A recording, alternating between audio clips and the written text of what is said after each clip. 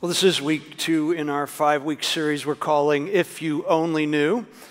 And throughout this series, we will be talking about some of life's great moments of transition. Transitions like the one Amy talked about last week, the time when adult children begin caring for their elderly parents. And I hope you heard Amy's sermon. Uh, it was a wonderful message, and it came right out of Amy and her siblings experience now as they're caring for their older parents. And Amy was the right person to deliver that message, uh, and she did it with such grace and respect. Can I just say, if you haven't heard it, I think it's a must listen. It's a must listen. This week, we're looking at another major moment of uh, transition in life it's when you become a parent to adult children, and I guess I was the obvious choice for bringing this message because I've been, or rather, I should say, Jennifer, my wife, and I have been parenting adults now for as long, or maybe a little longer, than we parented infants, young children, and adolescents. We have three children, adult children. Jacob, who's 45, um, Emily is 42 and Elizabeth is 39. They are adults. They all have children, eight between them. And believe me, they are living adult lives. So I guess I should be qualified to speak to the subject. Though it's a subject that I have to say, and I have to I sometimes wonder how to actually say it, this subject can be all over the map. Uh, things are always in flux when you're parenting adult children. Parenting adult children is, I would say, a, it's dynamic. It can be wonderful, difficult, confusing, frustrating, maddening, and heavenly, all in the space of one Christmas family get together. And that Christmas get together can be very different experiences for the older adult parents and the younger adults. What may seem absolutely appropriate to an older adult can strike a younger adult as terribly insensitive and inappropriate. And may I say, vice versa. It works both ways. I know this to be true from my own life, both ways. Because I am an older parent who is being a parent to adults. And I've also gone through the experience of having an older parent who is trying to parent me as an adult. Now, I do want to say I'm not certified as an expert on all of this stuff. They didn't have a course for this in seminary, okay? But I do have decades of experience parenting adult children, and there are a couple of things, a couple of things that I am sure of. And the first thing is this that in our culture, in our culture, we raise our children to be independent Jennifer and I did. We raised them to be independent. But when our children flex their independence muscles, they don't always follow in their parents' footsteps. I have absolutely no problem with any of my children's career decisions or their financial decisions or their child raising decisions or their food choice decisions. But when you raise them to take care of themselves, they take care of themselves. And often they do so in ways that I don't even recognize. Oh, and another thing that I am very sure of is this when you have more than one adult child, you can bet that all of your children will make very different decisions about career and finances and child rearing and food. Again, I want to reiterate that I have nothing to be upset about when it comes to my kids. Nothing. But this COVID thing, It has put a microscope on the business of adult children from the same family making very different decisions about what is appropriate and acceptable. I'm just saying, trying to remember three different COVID protocols, I'm just saying, okay? One thing that I have done, though, is that I've spent a lot of time looking at what the Bible has to say on this subject. And while I said I don't consider myself to be any kind of Bible guru concerning the things related to parenting adult children, I do think that I've got a handle on some things that will help us, help all of us, no matter where we find in ourselves in this delicate dance of being a parent to adult children. So, what I want to do is I want to pray and then I want to get after it, okay? So let me pray for us. Father, please make what I say today something that you are pleased with. I pray that you will help us to be the best of people that we can be in the world and that we will see from your word what you desire for all of us. I pray this in Jesus' name. Amen. before we get into this, um, I do want to say hello to everybody that's online. I want to say hello to everybody at Fishers and everybody at North Indy. Glad to be with you today. And so let's find out what the Bible has to say on this subject. And to be very honest, completely honest with you, it doesn't say very much. It doesn't say very much. I do believe that there are two verses in the New Testament that are relevant to today's subject, but truthfully, there aren't any teachings or commands or parables or anything really that say this is always important when you are the parent of adult, chi- adult children, or that says this is how an adult child should respond to their older parent. But both of the two relevant verses that I'd like to look at. They were both written by the Apostle Paul, who was one of the leaders in the early church, and he wrote a number of the books that we find in the New Testament. And the relevant verses are these. The first one is Ephesians 6 4. And we're going to focus mostly on this. So if you have a Bible and you want to turn to Ephesians chapter 6, that's where we'll be spending most of our time. But that verse says this Fathers, do not provoke your children to anger by the way you treat them. Rather, bring them up in the, with the discipline and instruction that comes from the Lord. And then the other verse that's important is uh, Colossians 3:21, and I would say that it is a twin verse written by the same man, and it says this, this essentially the same thing. It says, "Fathers, do not aggravate your children, or they will become discouraged." Now, my bet is that your first reaction to hearing these verses is something like, wait a minute. These verses aren't talking about parenting adult children. These verses are about parenting younger children. And I get that. I get that. But let me tell you something about the Greek in these two verses. There is a word for younger children in Greek, and that word is paidion. But the word that Paul uses when he says children in both verses here is not paidion. He uses the word tekna. And tekna is a word like our word children. Uh, let me explain. Listen to this sentence I have three children, and between my three children, they have eight children. Now, you know exactly what I mean when I say that. Because the context lets you know that when, whether I'm talking about, I mean, you, you didn't think immediately when I said I have three children that I have three little children.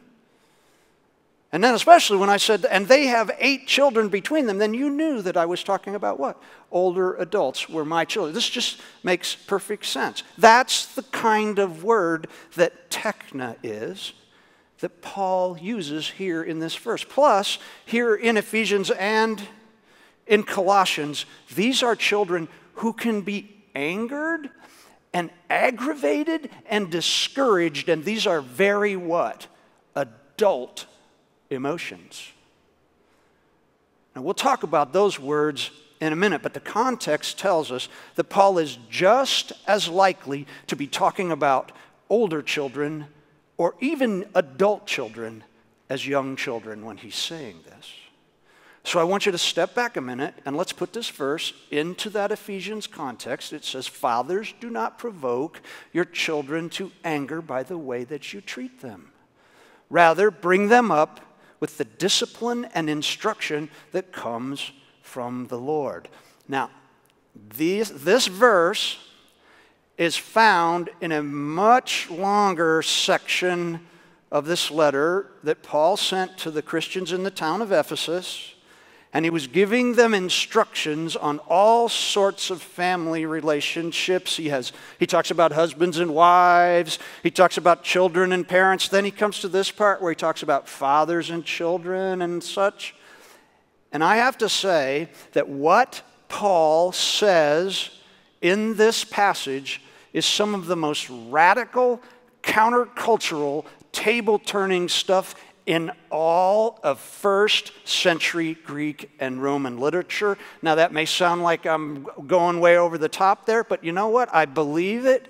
It is. I believe that it is all of that. When Paul talks about husbands and wives, he tells them that they should submit to one another out of reverence for Christ. But he says this in a world where wives were the property of their husbands. In fact, women who were wives were not legally people, they were simply their husband's possession. Paul wrote this at a time when, a, when husbands were under absolutely no obligation whatsoever to pay any attention to their wives, let alone show them any love or respect. Paul told husbands and wives to submit to one another in a world where a man could divorce his wife simply for the, re- for the fact that she had served him a breakfast that he did not find to his liking. He says this in that world. Paul says husbands should love their wives as Christ loved the church. Nobody would have ever thought of that one before. And Paul also talked about children obeying their parents, but he said the reason for them to be honoring and obedient towards their parents is because we belong to the Lord. Now, he could have said, he could have said, children, you better obey your parents because they have absolute power over every aspect of your life. Because parents did have absolute power over every aspect of their children's their young children's lives. Or he could have said, You better obey your parents because it's a capital crime to disobey your parents. He could have said that because it was a capital crime to disobey their parents. But no, he said, Honoring your parents is the right thing to do if you belong to Jesus. And then Paul said what we've read earlier Fathers, do not provoke your children to anger by the way you treat them. Rather, bring them up in the discipline and instruction that comes from the Lord.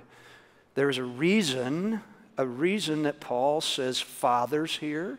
There is a Greek word for parents, but he, he doesn't use it. He uses the word for fathers.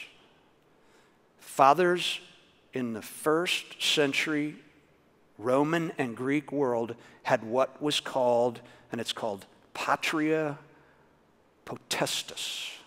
Patria potestas.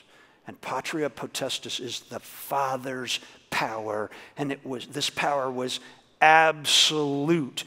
Even if the child was an adult, fathers could sell their children as slaves if they wanted to. They could force them to work at any kind of work. They could put them in chains if they so desired. They could even choose to take the law into their own hands and put their own children to death because that's what they wanted to do. And get this Roman sons never came of age. Never. As long as their father was living, his sons were obligated to obey him in everything without question by law. Now, truth is, fathers rarely went so far to put their own children to death. They didn't. But the threat of patria potestas was always lurking in the background in relationships between fathers and their children. And also, I don't know if you know about this, but it was just a given that every person's life was considered to be a gift from their father because the way their culture worked was when a newborn baby was born, they would bring the baby to the father and set it on the ground in front of the father's feet. And if the father stooped down and picked the baby up, that meant that he wanted it kept. But if he saw the baby, and usually if it had a deformity or was a girl, he could turn around and walk away, and the people in the family, including the mother, were obligated to either set the baby out to let it die in the elements, take it to the city forum to be picked up by whomever wanted it to do with it whatever they wanted, or to drown it. Law. And it's into this world, this world, that Paul says, Fathers, do not provoke your children to anger by the way you treat them. And one aside before I go on we, we know that fathers don't have this kind of control over their children's lives now. We don't live in that world. We also know that children in our world are raised by all sorts of arrangements of people. I think that everything that we're about to see that Paul says to fathers here, we could also say to mothers and grandparents and anybody else who is in the position of raising children. It works for everybody. It's okay in our culture. Anything that's good enough for dad will be good enough for mom. I'll just say it like that. And what Paul says is he says, don't, and the word he uses is paragizo. Paragizo. And it means don't irritate your children. Don't irritate them. It means, it's a word like don't embitter them. Don't do things that push them into anger. Just don't do that. The verse in Colossians 3 also adds that fathers shouldn't, the word is athumeo, and it means don't dismay them or dishearten them. Actually, the word is generally used to talk about when somebody drains the spirit out of somebody. Does that make sense? When you just get on them to the point where they just don't have any life left in them. And Paul says, don't do that. Don't do that. Clearly, Paul was being very direct. These statements are both in Ephesians and Colossians, they're imperatives, they're commands. Father, I am, and I'm going to add mother here. He says, don't do anything that provokes your children or angers them or embitters them or breaks their spirit. And I don't think Paul would have brought this up if he hadn't seen it happening in places where he had been. But he wasn't finished. The NLT says this rather bring them up in the discipline and instruction that comes from the Lord. Now, Paul uses a word here the word that says bring them up. And the Greek word is it's ektretho, and it means, and this is really sweet, it means to nurture something you cherish. That sure is different sounding than raise them up. It's nurture something that you cherish. And that word for discipline we have a thought in our mind that what is it when a father disciplines his children? We, we think about what? Punishing them or spanking them or something, and yet that word it doesn't have anything to do with that. It has to do with training somebody, leading them in the right way. Our word discipline has such negative connotations, and I have to say, Paul's not being negative here at all. So, if I were going to translate this verse, what we would have so far is this it would go, Fathers and mothers, don't do anything that provokes your children, angers them, embitters them, or breaks their spirits, but nurture your cherished children in the training and instruction. And then we get to the really important part in the NLT. It says, that comes from the Lord. And that little phrase is really important. And here's why it's important it's this there's only one word that gives us that whole phrase, and it's the word is kurion, kurion, and it literally means of the Lord. And scholars, way smarter than I am, have looked at this word carefully from about every angle, and they have concluded that what Paul was saying here when he said to what to train them and instruct them. It's of, that, that comes from the Lord or of the Lord, what they're, really, what they're really saying. You're going to have to stick with me here. He's not saying train them in the things of the Lord or discipline them in the stuff of God or something like that. What he's really saying is train them in the way that Jesus trained. It's the training of the Lord. Train them in the way, in the teachings. No, not in the teachings, in the way that Jesus taught them. See the difference? Train them in the way that Jesus taught them. And I agree with the scholars about the Greek here. I believe now that what Paul was going for here was to tell fathers specifically, but parents of all sorts generally, that their task is to be Jesus to their children, no matter what their children's age. So here's the Tim Ayers translation of the verse. Okay, you ready for this? It goes like this Fathers and mothers, do not do anything to provoke your children to anger, no matter what the age of your children but nurture your cherished ones by training them and instructing them in the same way that Jesus trained his cherished ones. And so the question immediately becomes how did Jesus teach and nurture his cherished ones? And I'm just going to get right to it. These, these are the words that were used to describe Jesus in his relationship with his disciples. They are He was tenderhearted, He was merciful, He was kind, He was humble, He was gentle, and He was patient. And can I just tell you, that changes everything for me about this parenting business. Everything. I've been thinking about this sermon for a good while, thinking about what I've learned from experience. And now I've been thinking about how I should use Jesus as a template for my relationships with my adult children. And it has changed me. It's changed me. And so I'm going to risk something.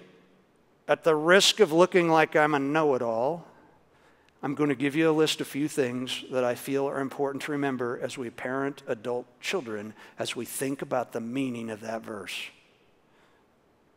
Oh, and I'm going to have some advice for adult children of adult parents. And then I'm going to have some advice for all of us. So here we go. First thing is this that I have realized that it's not hard for me to think of my children like this, like that. That's what I think of. When they're really this, and this, and this. It's easy to forget that time continually moves on. Things change. The ways of the world change. And it's so easy to get locked into thinking that my way of seeing the world is how everybody should see the world. And here's my advice do everything you can to stay current with who your children are right now. When my children were younger, I realized I was always about two years behind. Seriously, my fifth, uh, they're seventh graders, and I'm thinking they still like fifth grade things. They don't. My children are adults in a very different world than I was th- when I was their age.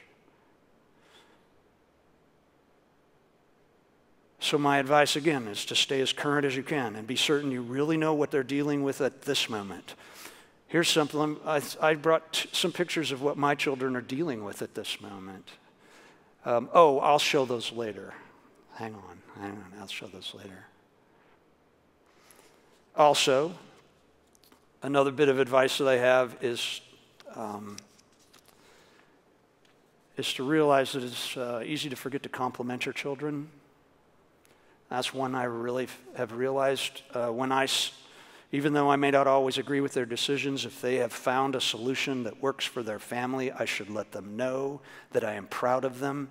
because me just worrying about breaking their spirit isn't enough.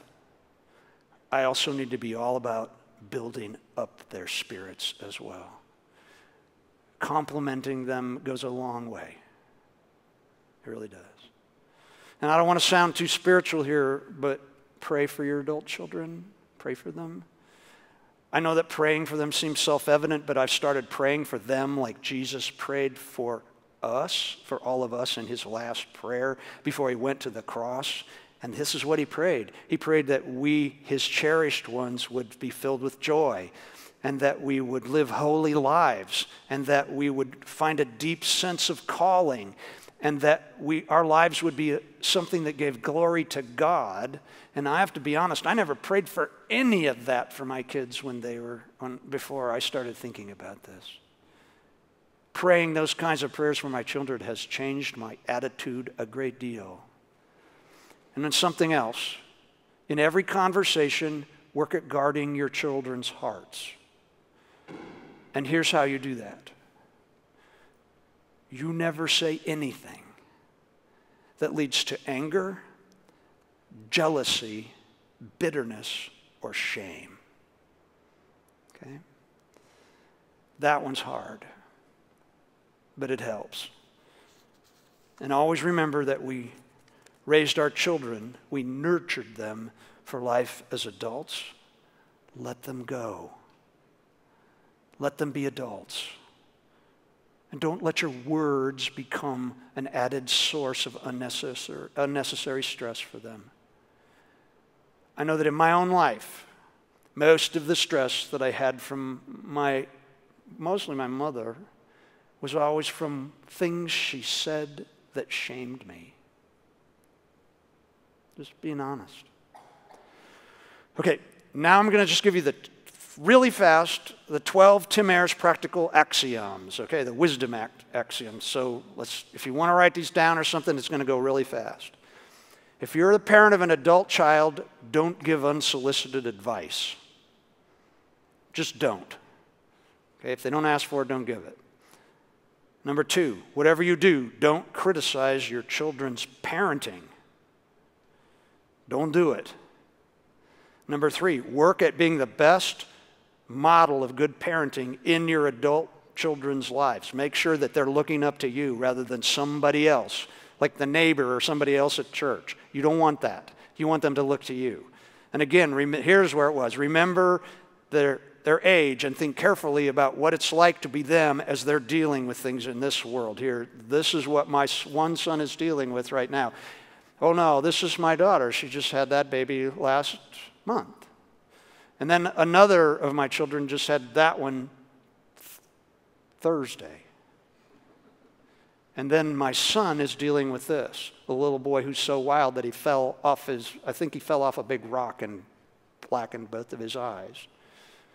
I haven't thought about those things for a long time, but you know what? That little boy right there, he's dealing with that right now with how much he's upset about having that he can't ride his bike for a while because he hurt himself. Those things. Just remember that stuff. Fifth thing is listen more than you talk. Ask questions that show you understand or that you want to understand. That's really important. If you just ask the right questions, you will hear the good things. Then never, never lecture. Okay? Here's a big one text or call before you come over. Dropping in is not cool. Okay? Observe respectful boundaries. Remember what it was when you had your young family and you, you didn't really want somebody just coming in and telling you what to do, that kind of thing, your mother, that kind of thing. Just be respectful. And then don't quickly rescue. This is a hard one. When there's a sudden problem that they need to deal with, but part of being an adult is figuring how to take care of these things on your own. I know it feels good to be able to pay for stuff and to take care of them but you don't do them any favors when you become an easy source of rescue And here's another practical one when you go out to dinner or you do things together, let them pay. Let them pay. No, make them pay sometimes. Okay? I could talk a lot about that one. Um, take my word for it, this helps in the long run. And when you do get asked for advice, be extremely cautious that you don't start making judgments. Judgments. And even when you are making judgments, keep them to yourself. Okay? Don't express them. And while I'm at it, I got three more. Can I do three more? Okay, I'm gonna, I don't care. I'm going to give you three more. Um, accept their significant others Receive them with open arms. Now, believe it or not, you being magnanimous, when they bring that one home and you open your arms to this new special person, you welcoming them into the home helps you a great deal because what it does, you have to realize that your adult child is actually still trying to figure out if that's the right one. And if you go negative right off, they'll get defensive and stay with them as long as they have to just to prove you wrong. So even if you are shocked, open your arms. Okay? Second, make being together fun. But here's the, the part about it that's important don't try to reenact the past. Just because you put all your kids in matching pajamas when they were little, don't buy everybody in the whole family matching pajamas. That's not cool, okay? Build new things into the fam, new memories. And finally, this is like huge. Don't ever say, Why don't you answer my texts?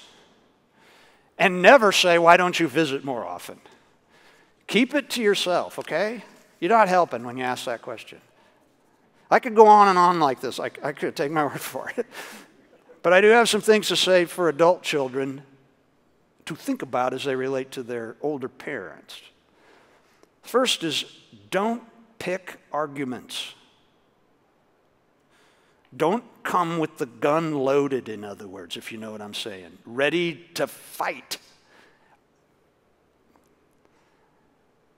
And secondly, you don't have to state your opinion on everything. Okay? You just don't. And third, don't make your parents feel defensive right off. And please don't see disagreement as criticism of you personally necessarily.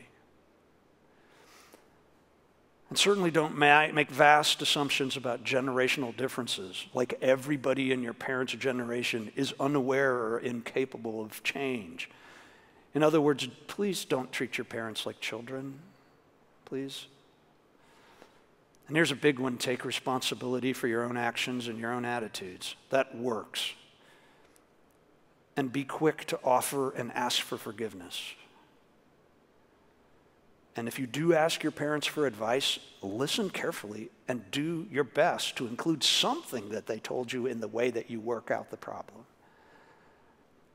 And here's a big one spend time with your parents outside of the perfunctory moments like birthdays and holidays.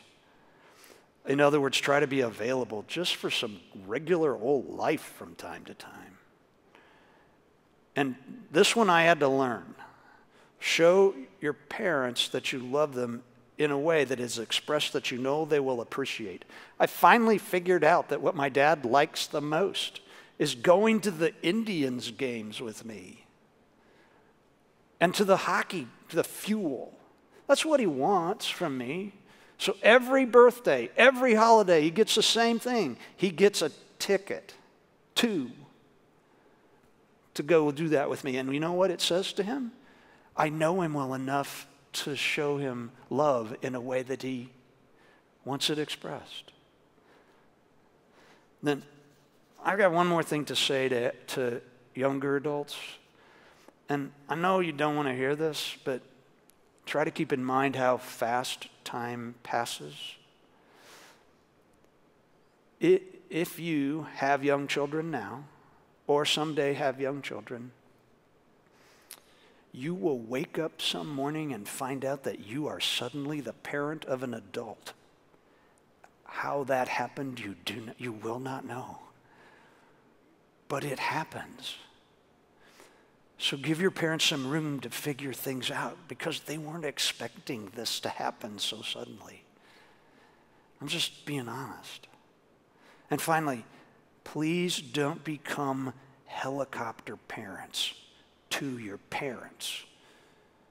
In other words, here's what I mean don't hover looking for something that says mom and dad are losing it.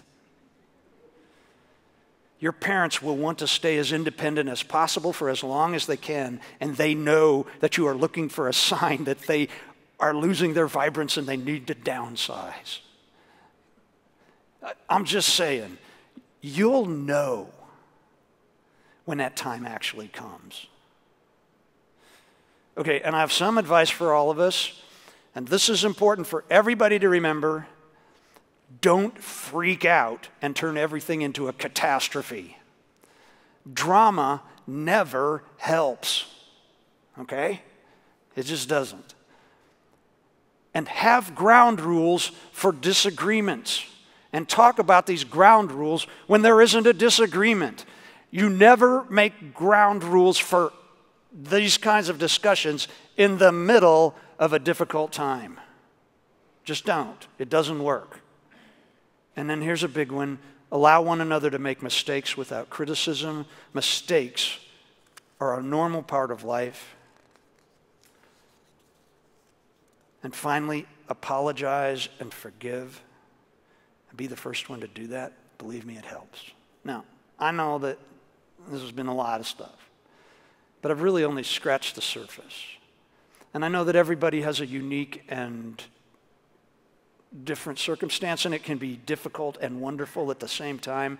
But, parents, if we take Paul's command seriously and we do everything we can to not do anything to provoke our children to anger, no matter what their age is, but we nurture them as our cherished ones by instructing them in the same ways that Jesus nurtured his cherished ones. It will go a long way towards making this new stage of life all that God wants it to be for all of us. I'm just saying.